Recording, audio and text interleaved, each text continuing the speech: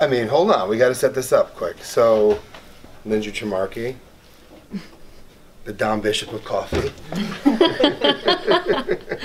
uh, we just signed another deal. This will be our 80 what store? Fourth. 84th store, or something like that. Well, once it's open, it'll be like 90. Once it's open, it'll be our 90th store on Long Island for Starbucks. Uh, we've done the majority of them here at Sabre. Pretty excited about it. Um, we just signed a new lease, and we're going to give Lindsay the honors of ringing the bell today. Oh yeah! New lease! More! More and more! That just hurt my ears. But isn't that fun? that just, I'm deaf. I'm literally deaf.